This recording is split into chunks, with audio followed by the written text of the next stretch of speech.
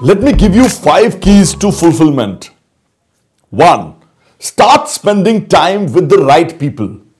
These are the people you enjoy being with, who love and appreciate you, and who, who encourage you to improve in healthy and exciting ways. Two, start facing your problems head on.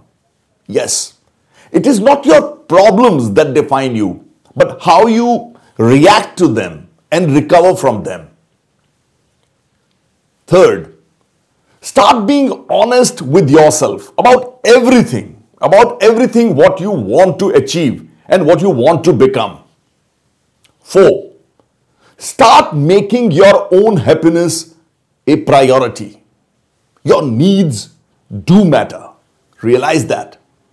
Five, start being yourself genuinely and proudly.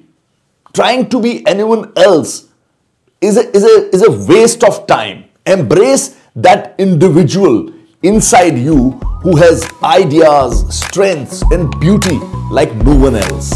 Yes, like no one else.